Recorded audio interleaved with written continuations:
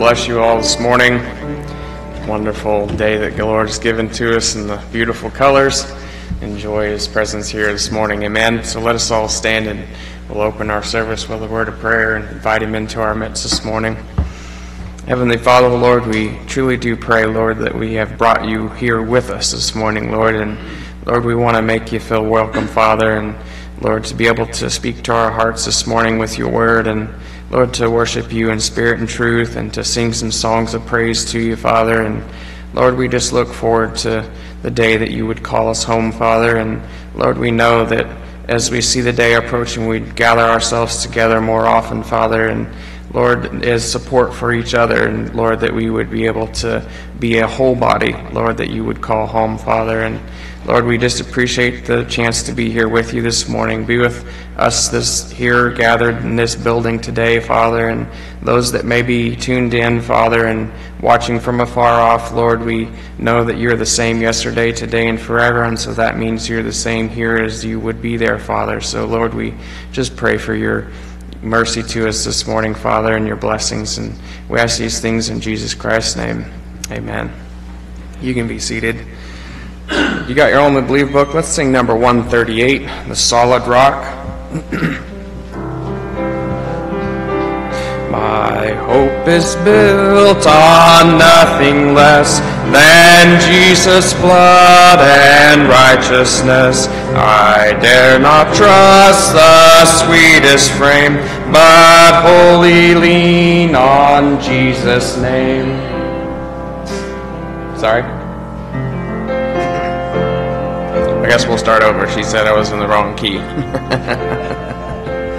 My hope is built on nothing less than Jesus' blood and righteousness. I dare not trust the sweetest frame, but wholly lean on Jesus' name. On Christ the solid rock I stand all other ground is sinking sand. All other ground is sinking sand. When darkness seems to hide his face, I rest on his unchanging grace. In every high and stormy gale, my anchor holds within the veil.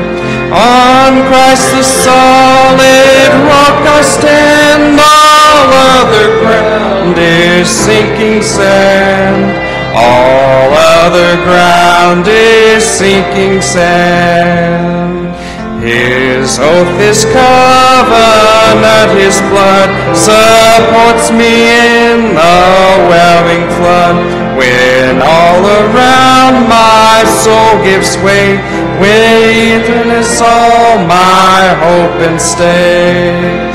On Christ the solid rock I stand, all other ground is sinking sand. All other ground is sinking sand. When he shall come with trumpet sound, oh may I then in him be found dressed in his righteousness alone, blessed to stand before the throne. On Christ the solid rock I stand, all other ground is sinking sand. All other ground is sinking sand. Number 369. I'll fly away. Some glad morning when this life is o'er, I'll fly away to a home on God's celestial shore. I'll fly away. Oh, I'll fly away, oh glory fly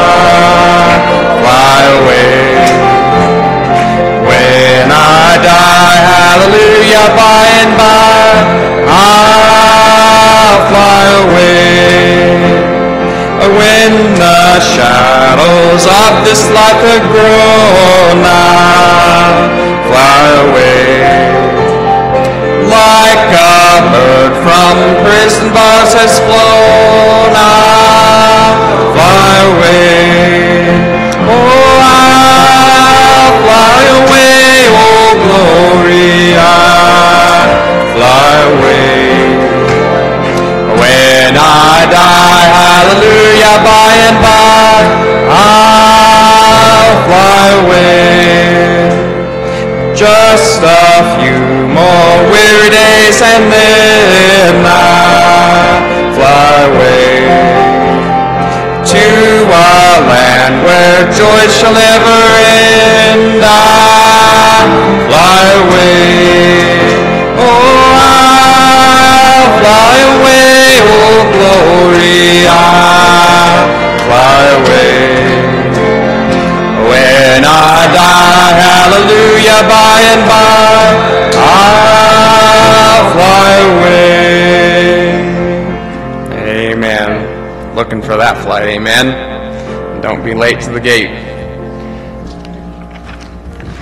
Amen. This time we'll take our prayer request before the Lord. Does anyone have one they'd like to make known? Amen. I'll read yours.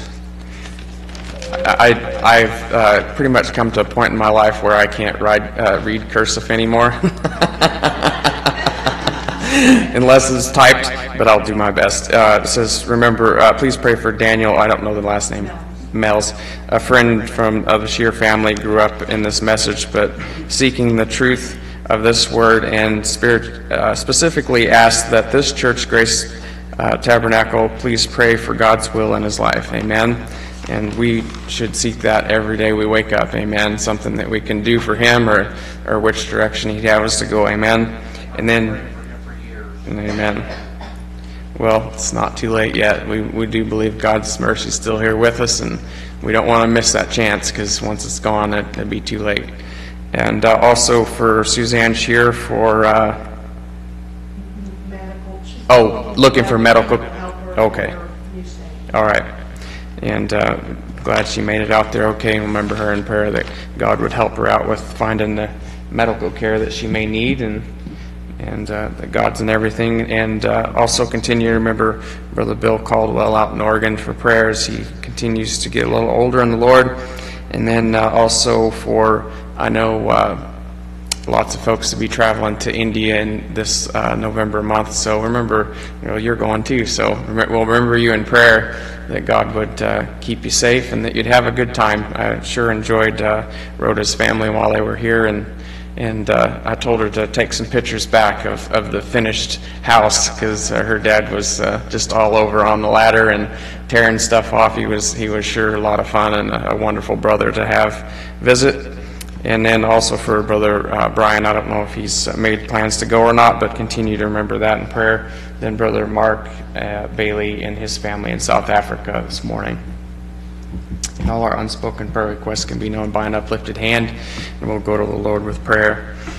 Gracious Heavenly Father, Lord, we truly do seek you in everything that we have in our lives, Lord, the decisions that we make and the steps that we take, Father. We always look for your guiding hand, Lord, and the footsteps that we can follow, Lord, that you've given to us, Father. And so, Lord, for these requests that we've mentioned to you this morning, Father, for those that are seeking you spiritually, Father, and the truth in your word, Lord, that is uh, seems hard to some people that, that don't have your spirit, Father, and don't have a revelation. But once you do come in to us, Father, and show us the way, it, it's just as plain as the nose on our face, Father. And Lord, we do appreciate the revelation that you've given to us, Lord. And Lord, we know we won't know everything when we're here on earth, Father, but we grow a little bit closer to you each time we meet, Father, and to hear your word. And for Suzanne Shear, Lord, and her medical uh, situation, Father, and the care, Lord, that she may look for. Lord, we pray that you're in all things. And Lord, for those that are going to be traveling this month, Lord, as those that are going to go overseas, Lord, for Thanksgiving, and those that may be traveling, Father, down, Lord, we pray that you would keep each person safe, Lord, and in, in the palm of your hand, Father, and that your protective angels would always be around them, Father. And Lord, we look forward to what you'd have for us in your word this, Lord, this morning, Father. We know missing a Wednesday, Lord, so we can have two services on Sunday. We sure come hungry, Father, Lord. So we pray, Lord, that you would feed our soul this morning, Lord, and help us, Lord, to enlighten your word to us, Lord, and may the things that we don't know about, Lord, become more clear. Lord, keep us close, Father, that we won't miss that call when you call us home, Father. And Lord, we appreciate the answered prayers, Lord, this morning that you've given to us, Father, and for the healing in our bodies and Lord, for those that may have been sick, Lord, that are now feeling better, Lord, we know that there's nothing, Lord, that is done that you hadn't done, Father. So, Lord, we thank you. In Jesus Christ's name, amen. uh, if uh, Brother Steve and uh, if you'd give him a hand this morning, I am drawing a blank. Brother Don.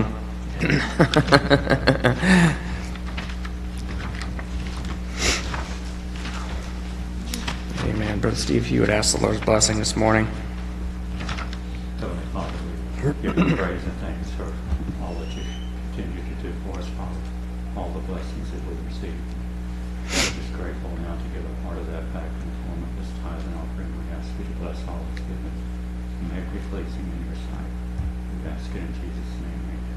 Amen.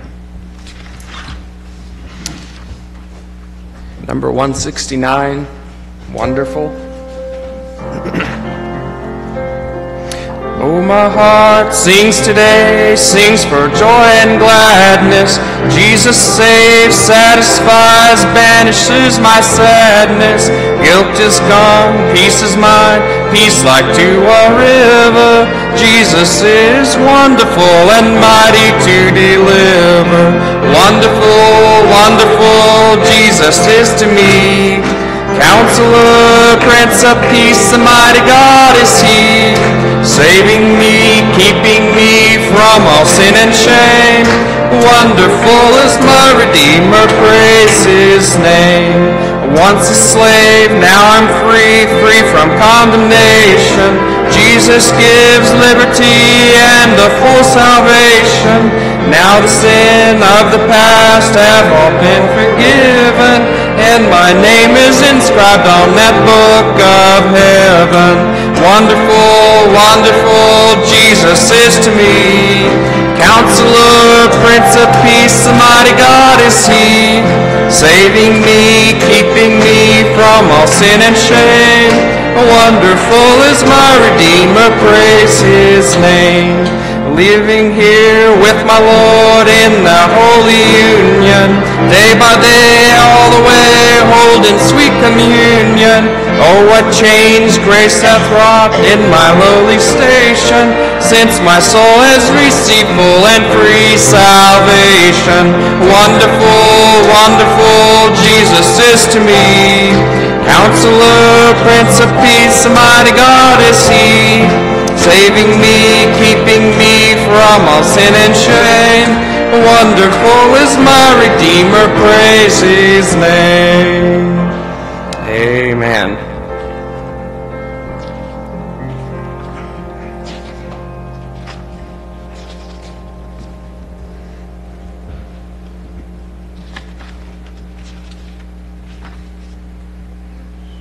Let's just sing that song, uh, number 577.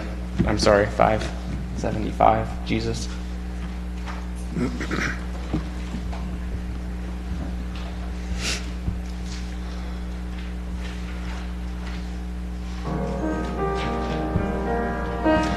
Jesus, Jesus, Jesus.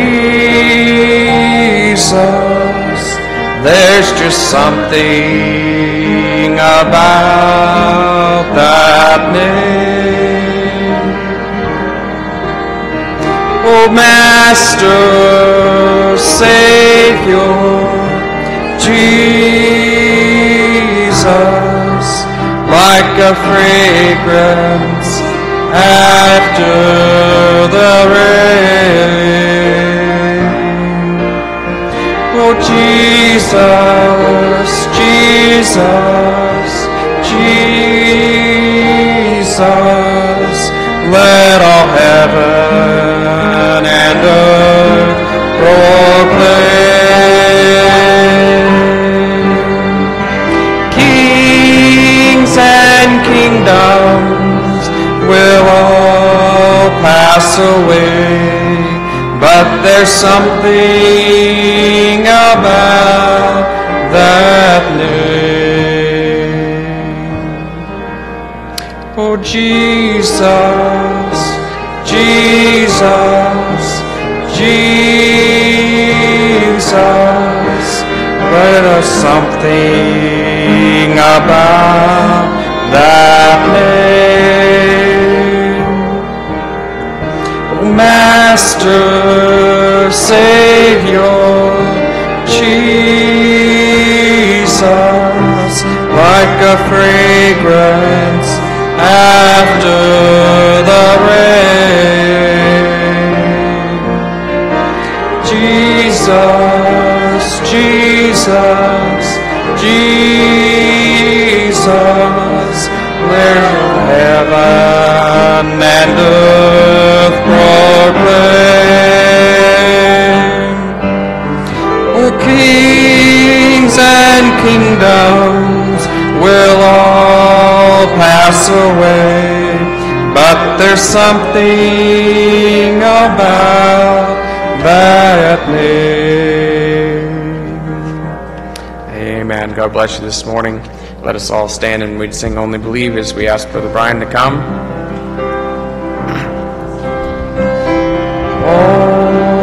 Only believe,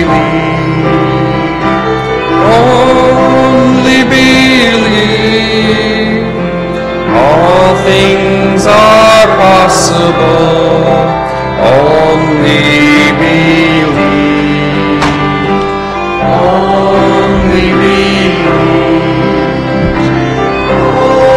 only believe, for all things are possible. Only believe. Jesus,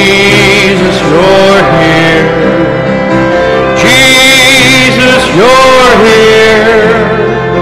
All things are possible now that you're here. Jesus, you're here.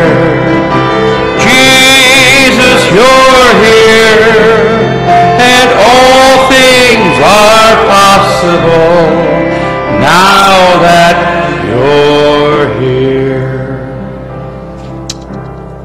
bow our heads in prayer. Gracious Father, we're so thankful, Lord, to have this privilege once again, Lord, know, knowing not how long, Father, it'll be till we go home, but yet knowing that we're sitting on this side of Jordan waiting, oh Lord, to cross over. and just as Israel, Father, waited to cross over, Lord, oh God, you tested them. And so, Father, we know that the times of testings are upon us. And so, Father, we just pray that you help us, oh God, to know the end from the beginning, keep our eyes focused for knowing that we're ordained to pass these tests. In Jesus' name we pray. Amen. You may be seated. now, this morning we're going to look at paragraph 93 and 94 of Brother Branham's sermon, The Unveiling of God, where he's speaking of God vindicating the message and the messenger that he, that he has sent with his message. And never forget that it was the Lord himself that descended with the shout, which is the message. Excuse me. Now he said, now Moses, you understand, that you understand, and the people understands now. So in other words, Moses understood first, and the people understood. I said, see, I have showed you, and I have vindicated you. Now he's talking, Brother Branham is actually quoting God here, or he's quoting what God said to Moses. God had veiled himself in this prophet to speak his word to the people. Moses was the living God to them, the living word of God made manifest. That's the reason his face was veiled, see? And, and do you know the same thing in a genuine Christian is veiled today to unbelievers? So it's saying in the way that the prophet was veiled to the people, you as Christians are veiled to unbelievers. They see, the, they see them women with their long hair and, and things, and they say, well, look at that old model. women twist their hair up on, uh, uh, up on the back and say, got a flat tire, spare tire. See, it's all veiled. They're blind. Well, they say, well, I got a PhD. I don't care what you got. You're still ignorant of the word. Exactly right. Oh, that, that's just something minor. Take the, they take the small lessons first. So he's kind of going back and forth with their arguments and then, of course, the word arguments. 94. How about the people who say that they are veiled in the presence of God and preach some church tradition? oh, mercy goodness. Which adds to and takes from and everything else. Like injecting their own subjects and their own thoughts and not the Word of God. See? What kind of a veil? That's God an ecclesiastical veil. God tore that veil wide open. Well, they say there's no such a thing as prophets. There's no such a thing in these last days as apostles and prophets. There's no such a thing as divine healing. There's no such a thing as seers anymore. There's no such a thing as Mark 16 being fulfilled. Apostolic age is gone or is done. They veiled it from the people. But God walked right out with the Holy Spirit, or the Holy Spirit of fire, and rent that thing from the top to bottom. God has rent the veil. Now, in Proverbs, I want to talk about the veil because the veil has to be something special to hide. You know, if it was just a very clear veil, then, of course, wouldn't hide anything. Proverbs 26 and 6 says, He that sendeth a message by the hand of a fool cutteth off the feet and drink and drinketh damage. So this veil or this messenger is nobody's fool. All right. This morning we're going to continue with our thoughts on vindication that we spoke on last week, but we're going to focus more on the vindicated message itself rather than the messenger uh, and, and, the, and the vindicated message for this third Exodus. Now, last week we examined vindication, not so much God vindicating the man himself, but the message of Thus saith the Lord that God gave him to speak in his name. And since the man and his message are one, then we can also see the backing up of that word also backs up uh, that the messenger was indeed sent by God. We also know that if God sends a man, then God fully equips that man for the message that he brings to him. Now, this morning we're going to examine the message that was brought at each Exodus, wherein God himself accompanied that messenger and was the focus of the message itself. For every time that God uh, has come in each of the three Exoduses, it has been to bring a message of deliverance. Therefore, this morning we're going to look at the characteristics of each message that God brought with his presence for each of the three Exoduses. Now, the first thing that God does at each Exodus is God comes down, of course. His presence comes down to visit a man, and he makes his presence known first to that prophet, and then through that prophet, God makes his presence known to the rest of the people that God has come to deal with. In the first Exodus, we see that God gave the prophet Moses a message that he has come to deliver his people from bondage. We see first in the scripture in Exodus 9 and 1, Then the Lord said unto Moses, Go, into, go in unto Pharaoh and tell him, Thus saith the Lord God of the Hebrews, Let my people go, that they may serve me. So God came down to deliver. After God identifies his presence with his prophet, then we see how God deals with the prophet and commissions him to bring forth a message, and in doing so, God promises to be with the mouth of that prophet. In Exodus 4 and 5, we read, And thou shalt speak unto him, and put words in, in, in his mouth, and I will be with thy mouth, and with his mouth, and I will teach you what you shall say. So he's telling Moses, Look, I'm going to be with your mouth, but I'm, I want you to put the words in Aaron's mouth as well which I believe Aaron representing the fivefold ministry. So we take our sermons from the mouth of the prophet and we take them back to the scripture. so you see, Moses did not think that he was qualified because he was not a polished speaker. But God let him know who made his mouth. You see, if God calls you, then you should not worry about such trivial matters as whether you can speak well or not. God will use those who he chooses, and he will equip them for the ministry. In Exodus 4.11 we read, And God said unto him, Who hath made man's mouth? Or who maketh the dumb or the deaf or seeing or the blind? Have not I the Lord? Because what God really wants in the man, uh, in the man of his choosing, is not an ability to speak, but an ability to just shut up and listen. An ability to just surrender yourself to him in everything that you do and everything you say. In Deuteronomy 18 and 18 we read, And I will raise him up a prophet from among the brethren, like unto thee, and will put my words in his mouth, and he shall speak unto them all that I shall command him. And so we see, we see in that God promised Moses that he's going to be with his mouth. Now, here's the thing. Moses begs God, he says, you know, I, I'm, I'm not very good with my mouth, I'm not very eloquent, and these kind of things. God said, look, who made your mouth? You know, God didn't want someone who was polished, someone who could get up there and just go on and on about uh, you know, just uh, enticing words of man's wisdom. uh, I don't know, how many of you ever read the uh, autobiography of, uh, or not the autobiography, the biography of, um, of uh, West, John Wesley? Anybody? I've got it in my study if you'd like to borrow sometime. Um, the man that writes it, uh, he, uh, he actually interviews people that were attended John Wesley's meetings and also uh, George Whitefield. And he said George Whitefield was a very eloquent speaker. He could get up there and he could really entice the people with his words and draw them into his subject. And uh, he, would, he, was, he said he's quite an actor. And so he said, you know, when he's getting people ready for the altar, you know, he'd say, Hark! I hear the angels, you know, and just all this drama. And he'd just draw the people in. But he said, but you know, he said, I, I felt like while I was listening to him, uh, he's such an eloquent speaker that uh, I could build a ship from stem to stern. But to do anything for my soul, there was nothing there. He said, on the other hand, John Wesley, John Wesley came in kind of halting and, you know, just, and, uh, but he said those little beady eyes, he said he put that, you know, he, John Wesley had that hairdo, you know, he had those, he put that hair back. I remember Brother Vayle doing that, you know, he had that hair. You look, you look you right in the eye. He said those beady eyes would just pierce a hole right through your soul. He said, and, and, and God fed your soul. You felt like he was speaking directly to you. But see, but God doesn't want the man that's all polished and everything else. He wants the man that's real, the man that's genuine. All right, the man that can listen. And so see, God made promises that He would be with Moses' mouth. Exodus four and twelve. Now therefore go and I will be with thy mouth and teach thee what thou shalt say. Now I will teach you what thou shalt say. You know, Brother Branham walking through the woods. Looks at a cigarette package. He would never touch it. But he said, you know, something drew me to it, and I, I, I thought there's a message. I, I picked it up instead of thinking man's filter. See, then God began to deal with him from that little cigarette package. He said, now, if a man was even thinking, he wouldn't smoke those things. But he began to draw us to the Word, a thinking man's filter, God's Word. So God taught him. God, and God says, Now therefore go, and I will be with thy mouth, and I will teach thee what to say. now, in the sermon, Escape Hither, Come Quickly, Brother Branham tells us God's message has always been a message of deliverance before judgment. Noah had deliverance, Lot, Lot had deliverance, and though it was a message of deliverance, the people turns it down. It's mercy and deliverance, and the people turns it down, except for the elect.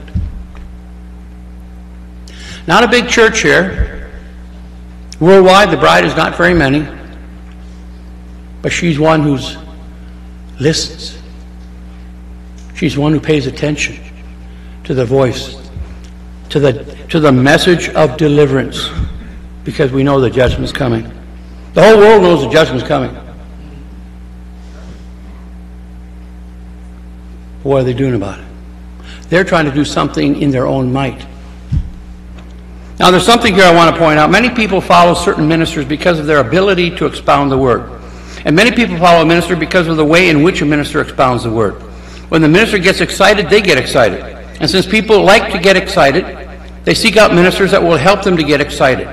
But the word is what should excite, not our ability to present it, nor our emotions when, uh, that we use when doing so. I remember certain years ago, a certain young minister I was mentoring at the time was preaching at a certain church not so far from here. And I went to visit him between services, and he was very frustrated. He said, Brother Brown, I can't even hear myself preach at that church. And when I, when I make a point, the people are so loud that I can't even hear myself preach. And I said, Well, brother, the reason they are excited is because you are excited. They are just following what you're doing. I said, You get wound up, and they get wound up. You get loud, and they get loud. They're just following what you're doing. I said, if you want them to understand what you're telling them, then don't preach tonight. Teach. Hold down your emotions and just teach them. Just say it uh, to them without getting so wound up yourself. And so when, then he, he, he uh, we talked about the presence and some of the other things that he wanted to teach on that, that evening, and then we went over to the church. Well, that night he got up there and he just taught the people what he wanted them to understand, and it was so it was just very quiet in the church. You could almost hear a pin drop.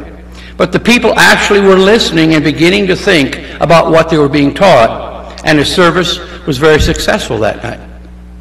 So sometimes we are our biggest enemy when it comes to trying to echo the message because instead of just echoing it, we add our own zeal, or we add our own sarcasm, or we add our own feelings, and that is when we get too much of ourselves in the way and water down the message that God gave us to echo. So God had to choose out a man who would not place the emphasis on his own abilities or feelings or emotions concerning the message God gave him to say. That's why God used Brother Branham and he didn't use Lee Vayle. Vayle was a great intellect, a great teacher. But he couldn't get himself out of the way like Brother Branham could get himself out of the way. Now, I'm not saying that to criticize Brother Vayle. I'm the same way. That's why he didn't use me. All right? God chose out a man and equipped that man to say just what he said, just the way that he said it. And that, my friends, is what a perfect echo is. To say it the same way with the same emotion, the same inflection, the same energy, and the same dynamic. Now, I've often given you the example of two young men speaking to one another, and one says, Well, look at that woman. She's beautiful. And in writing, you, you see that I place an exclamation point after what he said to give those words the emphasis behind them that the young man really meant what he said. but all you have to do is take that exclamation point and, and, and just put a little hook on it, it becomes a question mark. And so the very same words, look at that woman, she's beautiful. That throws a complete 180 degree because what? A little, a little. And how many preachers have you heard over your years it looks like they're preaching a beautiful sermon, and at the very end, there's a little hook. Throws a question mark in it. That's exactly what Satan used. He said, God did God said, Thou shalt surely die. Thou shalt surely die. She said, You know, the day we eat, that's the day we'll die. He said, Not. Question mark. Now, notice how one little jot, a little tittle, and we have the same words, but meaning totally the opposite of what the other said. So God had to choose a man who would repeat what he said in the same way that he said it. And that is why he told Moses, Don't worry about your own abilities to speak. That is not why I chose you. I'll be with your mouth. Now remember, he told us in the last quote that God sends a message of mercy, but the people turned it down. Why? because he presented it the way that God wanted him to present it. Now remember, when Jesus came, the Bible said he'd be in no form and no shape and comeliness that we have a desire of him, the man of sorrows acquainted with grief. The people wanted a king. They wanted a Saul. They wanted a big man. And God didn't send him that. God sent him humility because God himself is humble. Had Moses been a great orator, he could have used words to, to work up the people into a frenzy and they would have been climbing all over each other to receive and accept what that message was that he brought. But God didn't send a man who was eloquent in speech. He sent a man who had herded sheep for the past 40 years and had been so stripped of his human pride that he was not going to do anything beyond what God told him, word by word, what to do and what to say, because that's exactly the way you handle sheep. I remember years and years ago teaching on sheep. And I was just, uh, I wasn't even married yet, so I was 25 years old. And I was teaching at a, uh, on a, on a Saturday afternoon. I had a ministry once a month. We go to the retirement home. And, uh, and I was just teaching on sheep. And uh, reading quotes from Brother Branham, you know, about how a sheep would walk down a, a road and if he decided to take a left and then, and then take a right and continue, the sheep would all go down with no gate there or nothing. Just go down, they take a left, take a right. They just do exactly what the sheep did. And that's because they're sheep. And Moses spent 40 years. Now, now listen. How many of you have ever been around sheep? Anybody? Okay. After clearing out your nose, because that's about, it's one of the smelliest things you'll ever smell.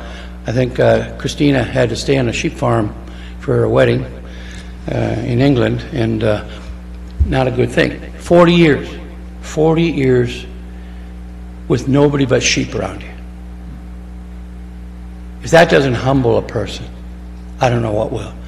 He went from a type A, type 1, go, go, go, always plotting, planning, building, executive of executives, running the whole country, all the building projects of Egypt, to where he's doing nothing. Herding sheep. You don't herd sheep. You sit with them, you talk with them. You walk with them, they walk with you. You're just looking over them, protecting them. That's it. So I'm sure that over 40 years, all of that drive, all of that type A, all of that type 1, whatever you want to call it, personality complex was gone. God stripped him of his human pride and basically he began to think like a sheep, act like a sheep. I imagine he talked like a sheep, smelled like a sheep, you name it. You know, we see the same thing concerning Jesus. In John 14, 31, but that, that the world may know that I love the Father as the Father gave me commandment, even so I do. Arise and let us go hence. No big plans, just do what the Father said. That's where we as Christians make our mistake. We, we got to do this and that and the other. We can't learn to just sit. It's hard. Right, Gary? Peter, you're learning. It's been very difficult, I'm sure. Steve, you're, you're, you're really getting there, I think. John 15, 10. If you keep my commandment, ye shall abide in my love, even as I have kept my Father's commandment and abide in his love. John 12, 49. For I have not spoken of myself, but the Father which sent me. He gave me a commandment, what I should say, what I should speak. you know, kind of reminds me of when I was a young boy.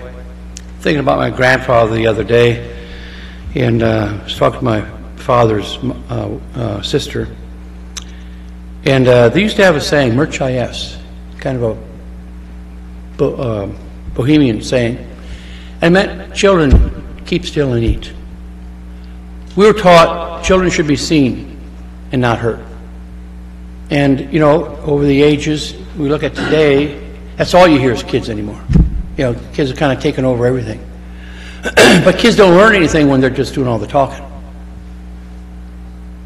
If kids would sit at the feet with the parents, if the parents are discussing, they can sit and listen. They'll learn. And Jesus was the eldest son, the pattern. And he says, He gave me a commandment what I should say, what I should speak. And then he goes on to say, Whatsoever I speak, therefore, even as the Father said unto me, so I speak.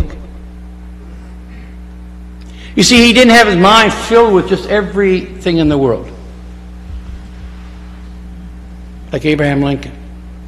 Two books, the Bible, and then I think it was the history of American civilization, or history of, of, of human civilization, something like, something like that, history of America. What's that? That was one of them too, but there was another one that I read in his, uh, in his uh, biography. Here's the thing he didn't fill his mind with all kinds of things like the children do today. You know, even men like Steve Jobs would not allow his nephews to, to, to sit in front of uh, one of these, uh, you know, things that we have today. People use them to babysit. Back in the 80s, it was they, they just put them before a, a video. That's kids babysit. Today, it's give them a little box, kids out of your hands. You can have your conversation. But watch your kids sometime. Take all that stuff away. Give him a spoon and a. He'll go out. He'll dig a hole. Give him a little truck, one truck, not ten trucks, just one truck. Doesn't need ten trucks. Give him one truck, and he'll be sitting by that hole, filling the truck up, dumping it over here, filling it up, dumping it over there. His little mind is working. Sometimes I wonder if the way that we are so pressed. Everything's pressed today. Like Brother Branham said, in, in uh, John Wesley's day, his, his wife had, what, 13 children, and, you know, they'd go out in the field and they'd be, you know, harvesting, and basically they just have the baby right there, continue harvesting. Wrap them in a, in a, in a like a, a towel, throw them over their back, you know, just tie them to their back. I've seen them in Bolivia, same way. He said they didn't have dishwashers for the mothers, you know, but you've all heard Brother Branham talk about those things, but today they have dishwashers, and everything else, they don't have any time. What do you want your time for? That's the, that's the thing. What is your time for? what are we living for? Are we living to get ready to go home? Do you realize that we're within days, like Israel was? Israel was four days from going home. Four days. And God gave them their test. And they failed it. So they wandered 40 more years. We're within days, brother, sister. And I wonder if, if we aren't in that 40 year wandering now because we weren't ready to go over. In a sermon, Queen of Sheba, Brother Branham said, Now look what happened when Jesus was God's message to the people. And they rejected it. Look what happened to the people that rejected it. now remember, God did not send them a son, a son of God that was head and shoulders above the people, and that was so gifted as, as a speaker that he could make them believe what he wanted them to believe. God doesn't use slick willies. He uses men who are truly humble because they truly understand in God's presence they are nothing. They understand the sovereignty of God. Now, from a sermon, God, who is rich in mercy, Brother Branham said, Now, God always likens his prophets to eagles. And what was it? Moses was his messenger. And they were following Moses, and that was the, that was the eagle's wings that they was carried on because he was packing God's message. And the people followed that. They were following God as they followed Moses with his message of deliverance. And the Bible said that they perished not with them who believe not because God was rich in mercy to them because they were following his commandment. God wants us to follow his commandment. So you have two million people come out and all but two perish. But the two that didn't perish, study them sometime. Notice their whole focus was on the promise, not on what they saw when they got over there. It was on the promise and the promise alone not in circumstances. now, I remember one time in 1981, 82, I was down in Texas preaching at Brother Bell's church in Beaumont, Texas, when they were still in the old church there. And I was preaching on false anointed ones at the end time, and I was using Brother Vayle's notes where he had uh, preached the same, inspire, uh, same thing that had inspired Brother Branham. And I had been, I had this experience where I was teaching, while I was teaching, I could feel a rejection in the church of what I was teaching. And so I just continued right on teaching it anyway. And at first I just felt a rejection in my spirit. But as I continued preaching, I could see it was coming from the left side. And then in the middle of the left side, and finally, toward, I, I finally, it came down to, there a certain woman in the church, middle aged, had a big Beaumont bouffant. Now, that could be anybody in that church. Because they all had big Beaumont bouffants at that time anyway. I don't know what they do today, but, well, when I got home, I told to Brother Vayle what I was what, what took place. I told him that regardless of what was going on, regardless of feeling that rejection, I didn't change the way I was preaching. I just kind of monotone, just kind of just went through and laid it out. And he said, and Brother Vayle said, he said, that's good. He said, you should preach as monotone as possible. Because when a minister gets excited, the people get excited. And 99% of the time, the people are not excited because of what the word is saying. They are excited because the preacher is excited, and our excitement should come from the word, not from the preacher. And so you see, God had to choose a person who was going to echo his word just exactly the way God said it. And so he took 40 years and he humbled Moses down to the place where he spent 24 7, 365 days a year with sheep until the man Moses became a sheep in the presence of God. No self pride, no self assurance, no opinion of self, just dead to self.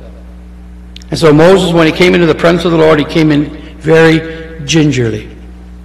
Took off his shoes. And from a sermon influence, Brother Branham said, Now don't you see what the presence of the Lord does to real believers?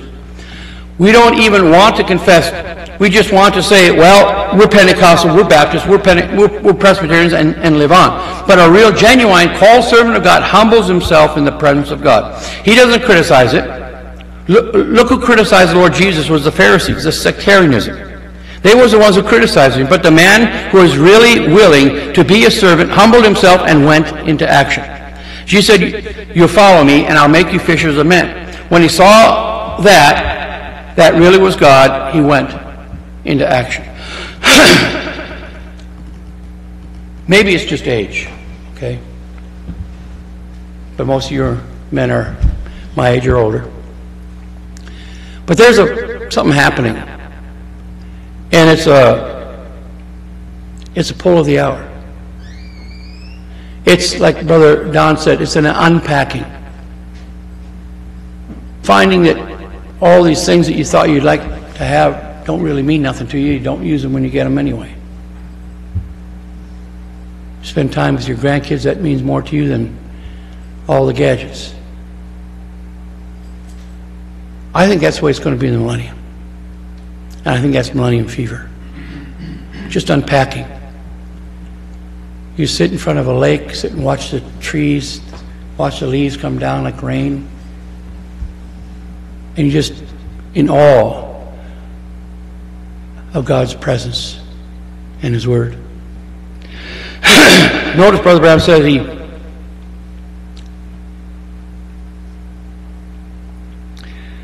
he was just a humble man. Moses, 40 years with the sheep. Just a humble man. From why it had to be shepherds, he said, I want, I want you to see that it was not the message itself that attracted the people, but the miracles. Notice he says, now notice, he was sent to his, his brethren in slavery under bondage with a message of deliverance, with a God given sign to prove his claim. Israel went for his message. They believed it, every one of them, but in the evening time, and then notice here, Brother Branham corrects himself to let us know it was not the message that Israel went after, but the miracles. He said they went for his miracles, but in the evening time, when he gave his message, it was different. All that did not believe the me- that message died. That's right. What was the message? The message was, was of the coming judgment. At the evening time, God went out through the camp of Israel to find if the people had believed his shepherd's prophet's message, and all had not believed it, perished. Remember, he came on with a gangbuster. Let my people go, Pharaoh, you know, and, and, and if you don't, he put his rod in the water, and the waters turned to red, to blood. Spoke flies came, spoke frogs came, spoke fleas came. One thing after another, after another, after another, the people were just sitting back and mesmerized by that. But one day God turned it on them as well. See, all these things didn't happen to Goshen. But one day God turned to them also and said, The firstborn that doesn't have the token applied in your home, the firstborn is going to die. Now, Israel, if they were just paying to the miracles, they might have missed it. but if the miracles said, Hey, God is with this man, we better listen to what he says, then they put that blood on that post they didn't perish. And so we see that the message has always been the same, a message of deliverance before judgment. Now from his sermon, Escape, come hither, come quickly. And every time the messenger that went forth brought a message of love and grace and deliverance, God's message has always been a message of deliverance before judgment. Noah had deliverance. Lot had deliverance. And though it was a message of deliverance, the people turns it down. it's mercy and deliverance, and the people turn it down. Why would we do that?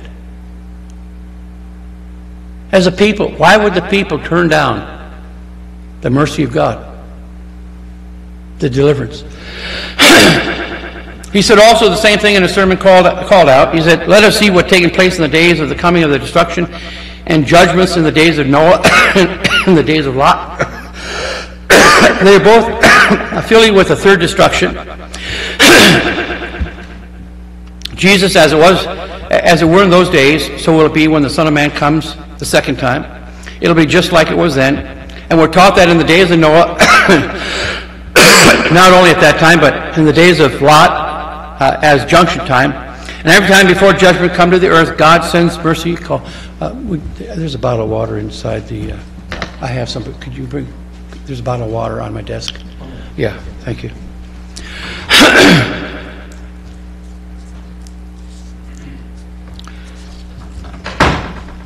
Thank you.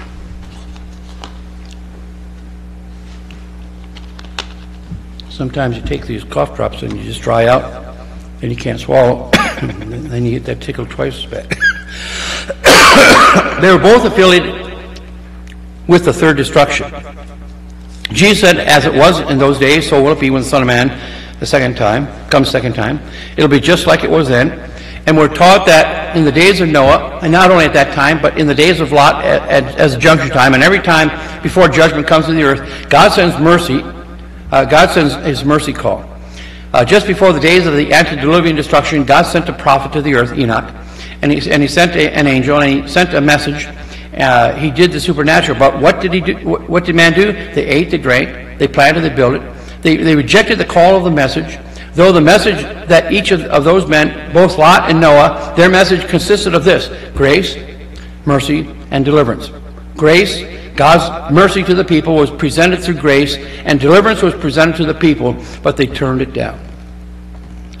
now, in, in examining the second Exodus, we see that God gives his prophet a message, and the message is not his own message, but God's message that he brings to the people.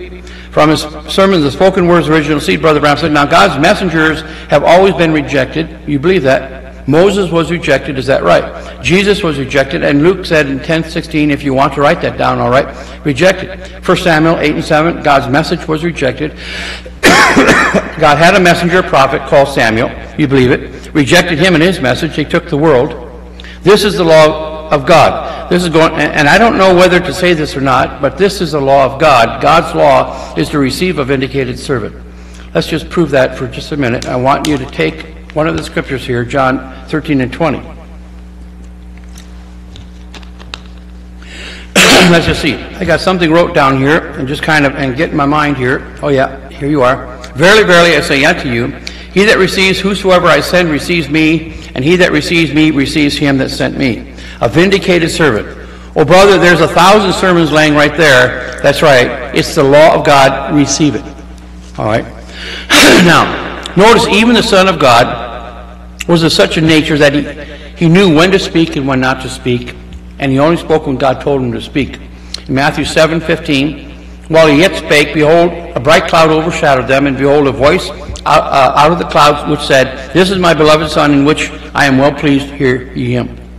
In Acts uh, 7:37 we read, "This is what Moses, what, what- this is that Moses which said unto the children of Israel, A prophet shall the Lord your God raise up unto you of your brethren like unto him, him shall you hear." Acts 3:22, "For Moses truly said unto the fathers, A prophet shall the Lord your God raise up unto you of your brethren like unto me, him shall you hear in all things whatsoever he shall say unto you." in uh, John 12:49, for I for I have not spoken of myself, but the Father who sent me, he gave me a commandment, what I should say and what I should speak, and I know that this commandment is life everlasting. Whatsoever I speak, therefore, even as the Father said unto me, so I speak now. now notice his attitude. Okay, the words that my Father spoke, it's life everlasting. So that's all I'm going to speak. It's life everlasting. Can we do the same? Then said Jesus unto them, When you have lifted up the Son of Man, then shall you know that I am he, and that I do nothing of myself, but as my Father hath taught me, I speak these things. John 7:16. Jesus answered and said unto them, My doctrine is not mine, but his that sent me. If any man will do his will, he shall know the doctrine, whether it be of God or whether I speak it of myself. John 10:31. Then the Jews took up stones again to stone him, and Jesus answering them said, Many good works have I showed you from my Father. From for which of these works do you stone me? In other words, look, God vindicates everything I say. So which of the vindication are, are, you going to stone me for? And the Jews answered and said, For a good work we stone thee not, but for blasphemy.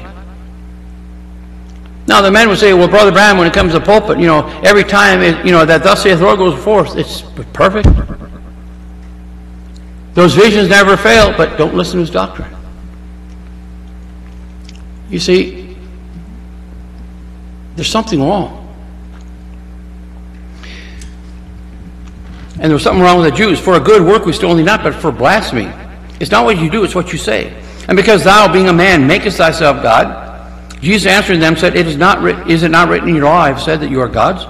If you call them gods, whom unto the word of the Lord came, and the scripture cannot be broken, say of him whom the, the Father hath sanctified and sent into the world, thou blasphemest, because I said, I am the Son of God. If I do not the works of my Father, believe me not. but if I do, though you believe not me, believe the works, that you may know and believe that the Father is in me, and I in him. And therefore they sought again to take him, take him, but he escaped out of their hand. Okay, so now we examine in the third Exodus that God has given us a prophet as well. He's given us a prophet, he's given us a message, he's given us a pillar of fire to vindicate.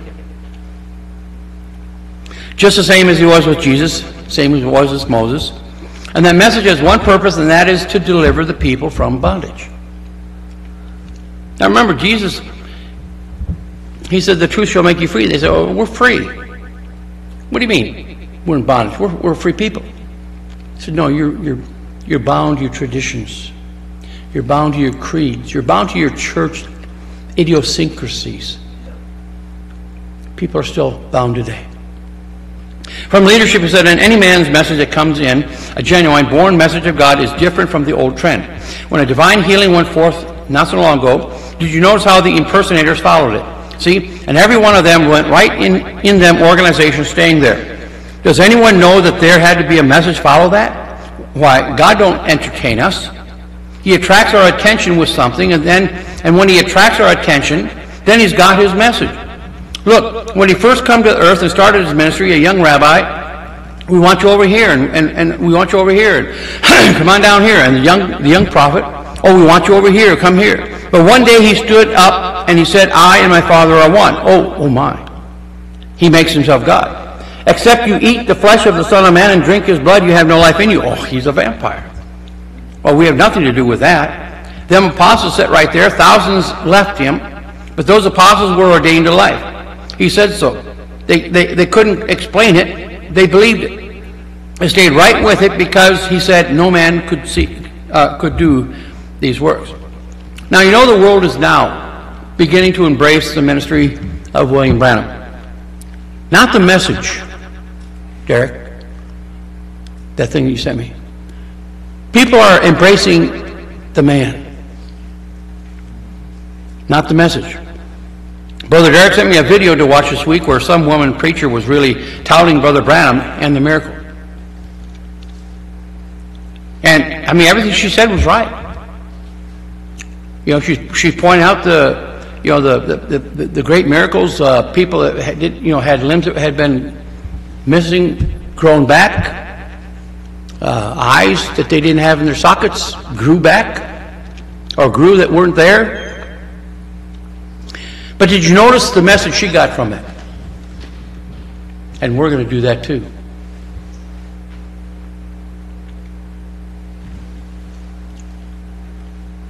I could tell they had no clue about the message because they kept saying the miracles that he did. And I have news for you, he didn't do one miracle. They kept saying he healed this person, he, he healed this person, and he, Brother Branham didn't heal anybody. They had no clue that God alone is a healer. I am the Lord that healeth all thy diseases, and there is no other. I'm sorry, there's no other. It wasn't power that William Branham had, he had no power. Pretty good eyesight, could shoot a rifle pretty well, but no power to heal. and so when your focus was on the man, or is on the man, as some are in, even in this message, they're completely missing the God who's invisible. You know, Brother Branham said, You know who I'm waiting for. I'm waiting for him, and until he comes, I'm helpless. But their whole talk was about what the church is going to do, and they're looking for a new wave to begin where the spirit that anointed William Branham is going to come back and anoint them. And I've got news for you. That spirit never left us. He's still here, and it's not about the miracles, it's about the message. And you know what the message is? It's Christ. It's Christ. From anointed ones at the end time, he said, Now I want you to be sure, And you that's listening to this tape, you might have thought today that I was trying to say that about myself, being that I was packing this message. I have no more to do with it than nothing, no more than just a voice. And my voice, even against my better judgment. I wanted to be a trapper, but it's the will of my Father that I declare to do and am determined to do. I wasn't the one that appeared down on the river. I was only standing there when he appeared. I'm not the one that performs these things and foretells these things that happens as perfect as they are. I'm only one that's near when he does it. I was only a voice that he used to say it. It wasn't what I knew. It's what I just surrendered myself to that he spoke through. It isn't me. It wasn't the seventh angel. Oh no. It was a manifestation of the Son of Man. It wasn't the angel, his message. It was the mystery that God unfolded. It's not a man, it's God. The angel was not the Son of Man. He was a messenger from the Son of Man. The Son of Man is Christ. He's the one you're feeding on. You're not feeding on a man. A man, his words will fail. But you're feeding on the unfailing body word of the Son of Man. And if you haven't fed fully on every word to give yourself strength to fly over all of these denominations, things of the world, will you at this time do it while we pray? Remember, he said, My ministry is to declare that he's here. To declare him. That's one thing. Godhead. Understanding. Relationship. And that he's here. It's not about the miracles. The miracles was used as the wrappings on the loaf to attract your attention to a message. Now, I know Brother Branham said that, you know, when Pentecost or the, when the world begins to come for this message, it's over. And I know that's what Brother Derek was trying to point out. Hey, they're coming now.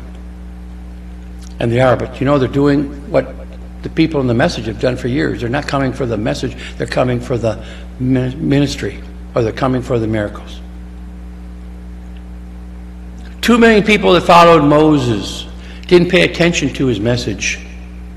They followed the miracles and they perished. From events made clear by prophecy, the Pharisees looked back to see what Moses said and they said, We have Moses, we don't need, we don't know where, whence thou comest. But remember, when Moses was here, they didn't know where he came from either. See? No wonder Jesus said to them, You garnish the tombs of the prophets, and you are the ones that put them in there. After their message is gone, the message goes through, the people see it, they make fun of it, the world does. Then after the messenger is finished and the message is done, then they build a denomination upon the message. And they die right there. Never come to life again. Well, listen, the message isn't done until the bride of Jesus Christ is conformed to that image. Until she's learned to die to herself like the prophet died to himself. But the rest of the world will go on. From one in a million, he said when Israel left Egypt, there was approximately two million people left at the same time. every one of them heard the message of the prophet. Every one of them saw the pillar of fire. Every one of them was baptized to Moses in the Red Sea. Every one of them shouted in the Spirit, beat the tambourines, and run up and down the bank with Miriam when Moses sang in the Spirit. They everyone drank from the same spiritual rock. They everyone eat fresh manna every night, every one of them. But there was two that made the land. One out of a million. What was the test? They all drink the same rock. They all eat of the same spiritual manna, tapes, as we're eating this morning. Isn't that the tapes? But the word test proved them. When it come to the time of Kadesh Barnea, when they started over into the promised land and they could not go over till they was tested by the word, and all the other ten came back and they said, we can't make it. The people are, were like grasshoppers to them. They're, they're great walled cities. The opposition is too great. But Joshua and Caleb stilled the people. They said, we're more than able to take it. Why? Because God said before they left the promised, before they left for the promised land, I've given you the land. I've given it to you. It's yours. But there was one out of a million. From one way provided by God, Brother said, now God's provided a way, made a way across the Red Sea when they was in a trap. God's provided a way, provided them a prophet, provided them a pillar of fire to follow them, a vindication of the word, a man proved of God. That was, uh, that's what he, he said would come to pass. Showed them exactly what it was. And yet when they crossed the sea, they wanted law. See, that's not just cheap beings. That's just the way man operates. He wants to in- inject his own ways. Oh, God provided. God's provided way is always the way of sending His word. Now, notice how he said they wanted law so they could have something to inject their own thoughts into. I want you to listen to this. They didn't want to say what the tape said. They didn't want to say what Moses said. They wanted something that they could inject their own thoughts into so they could have something to argue and fuss about. He clarifies this in the sermon, Be, be Not Afraid. That's, he says that's exactly what Brother Branham explains. He says the biggest mistake Israel ever made when grace had already provided them a prophet, provided them a lamb, and given them the greatest revival they ever had, and was standing on the shores of the Dead Sea, dancing in the Spirit and singing in the Spirit and having a jubilee in Exodus 19, they didn't want, want that. They wanted a theology that they could argue about. That's right. Right. And what? They was only about four days away from the promised land. The same mistake that our Pentecostal fathers made not so long ago. How little would? you could have told them they was 40 years from the promised land, but they had to get something that they could argue about. And so what did God do, do to them? He left them in the wilderness for 40 years. What did they do? Raise crops and children. God bless them. That's right. And it was great. But one day God said, You've been on this mountain long enough. Let's rise up and go north and take the promise. That's right. When all the old fighters had died, he waited till the old fighters died out. That's true. That's a lot to think about, brother. From the token, he said, if I ain't telling you the truth, they'd never, they'd never speak back. God will never speak to a lie. God speaks to the truth, and these words are testifying that I'm telling you the truth. They are the one that testify of the message that I'm preaching, not only the angel down there on the river that day that said, Your message will forerun the second coming of Christ, the works itself. If you can't believe the angel, uh, that the angel told the truth, believe the works. For the Bible said these things would happen at the end time. They are they, they are they that testify. They're the ones that speak louder than my words or anything else. It's His word. They testify of the time. now, what are we trying to say? Well, remember when that picture was taken? The Reverend Best was his name. Wanted to argue with Brother Branham, wanted to debate him. Brother Branham said, I'm not going to debate anybody. They want to fuss, they can fuss. He said, Those that believe me, they believe me. Those that don't, they don't have to. So one of the old guys, Brother Bosworth, he said, I'll do it. He was looking forward to it. Brother Bosworth got down there and gave the man so much scripture the man didn't know where to go. So the man got angry, stuck his fingers right in front of his face, had his cameraman try to take pictures. None of them turned out. See, Brother Branham's way was the best. So then they called Brother Ram to come down. The guy still had some film on the roll. He took pictures. And God left us a legacy. you fight the battle, God won't fight it for you.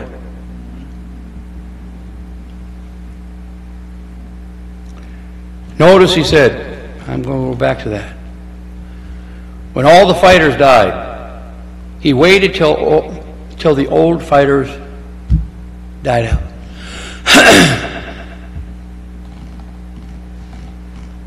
From Siege shall not be over the shut.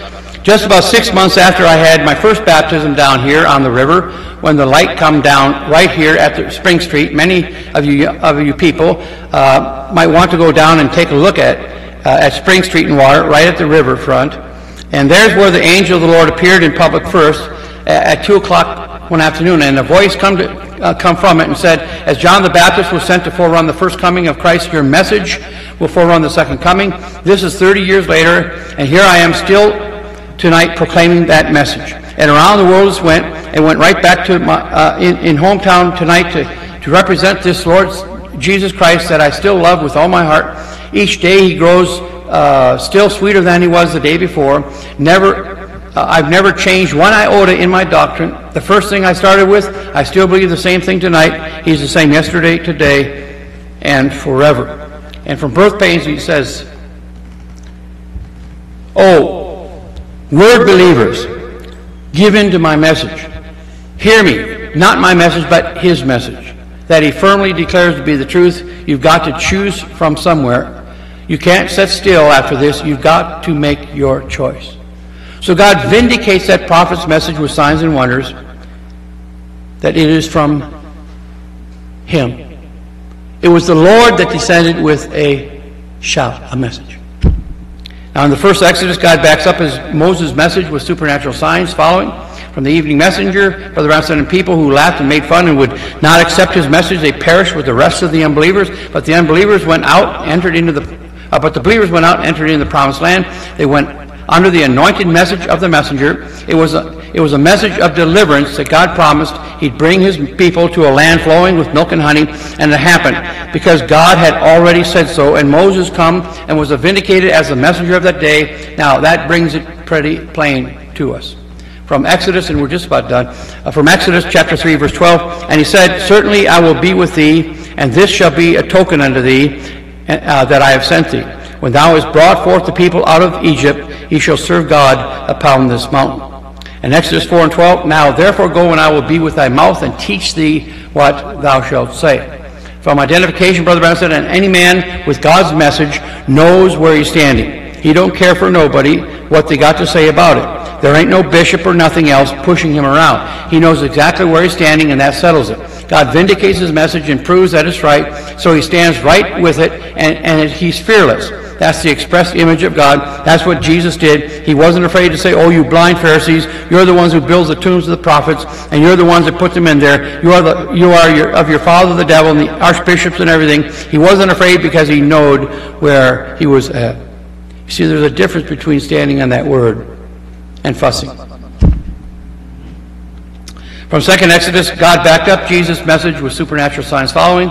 Acts 2 and 22, Ye men of Israel, hear ye these words, Jesus of Nazareth, a man approved of God among you by miracles and wonders and signs, which God did in, by him in the midst of you, as you yourselves also know. John 8, 45, and because I tell you the truth, you believe me not. Which of you convinceth me of sin or, or accuse me of sin? And if I say the truth, why do you not believe me? John 10, 37, if I do not the works of my Father, believe me not. But if I do, though you believe not me, believe the works that you may know and believe that the Father is, is in me, and I am. Therefore they sought again to take up uh, take him, but he escaped out of their hand. and John 14, 11. Believe me that I'm in the Father, the Father in me, or else believe me for the very work's sake. Now that takes us up to the third Exodus. God backs up his prophet William Branham's message with supernatural signs following. From be not afraid, that you believe on the Lord Jesus Christ, have faith in God. It's all over, brother. Just believe it now. We are strangers to one another. Now that ought to settle it for the whole group of you. Does that confirm that I'm preaching the truth? How would God let me tell something wrong and stand up here with my message? These things are only to indicate a divine and, and, a vindication that my theology is right. That's exactly right. Why would God let him time after time after time just exactly, exactly, exactly, pinpoint, pinpoint, pinpoint, and then not have a pinpoint revelation?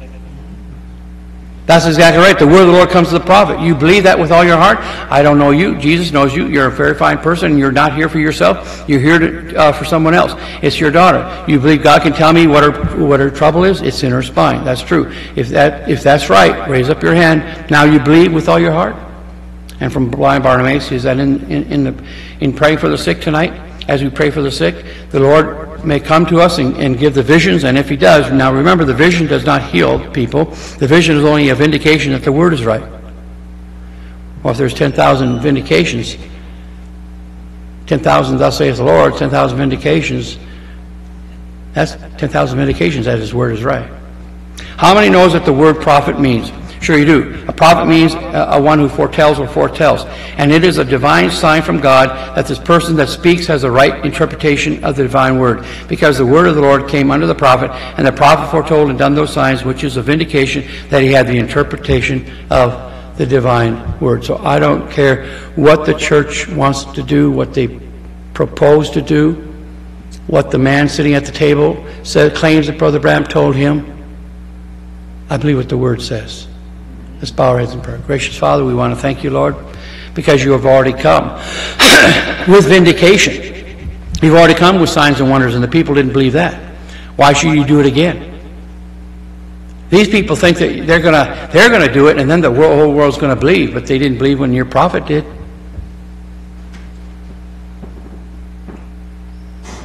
So, Father, I just pray that you'd help us not to be looking for those things, but to look for the simple fact that we already have a vindicated word. We already have a vindicated revelation of deliverance. Help us to focus on that. In Jesus Christ's name we pray. Amen. Amen. Well, the Lord bless thee and keep thee, and may the Lord make his face shine upon thee. The Lord bless thee and keep thee. The Lord his face shine upon thee and give thee peace and give thee peace and give thee peace forever. the Lord be gracious to you. The Lord make his face shine